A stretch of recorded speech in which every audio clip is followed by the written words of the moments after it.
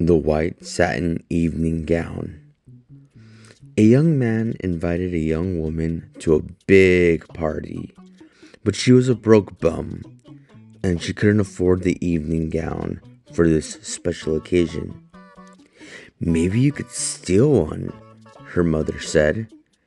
So she went to her local pawn shop and found a very nice white evening gown. There were no security guards, so she took it, put it in her purse, and then ran. She arrived at the party with her date. She was so attractive, everyone wanted to do her. She began to dance and dance and dance.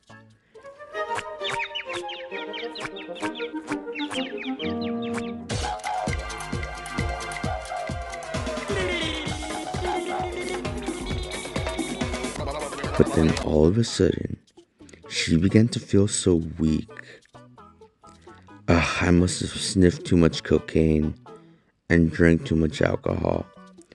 So, she asked her date to take her home.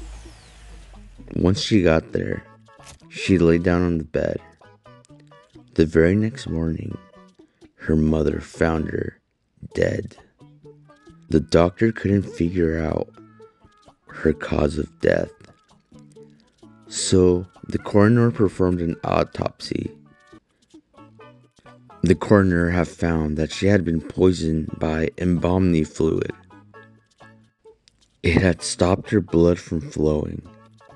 There were traces of the fluid in her dress. He decided it had entered her skin when she perspired while she was dancing.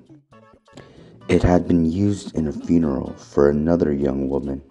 The undertaker's helper had stolen it just before she was buried. And that, kids, is why you should never steal.